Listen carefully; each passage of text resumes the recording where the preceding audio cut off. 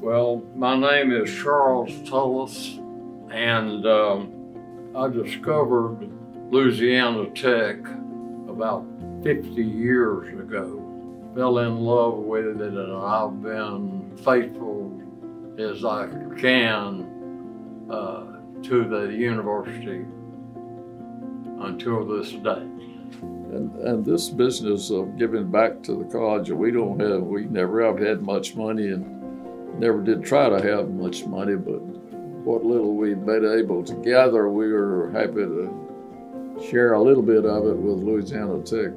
But we're very proud of Louisiana Tech and we're glad to support it in, in any way that we can.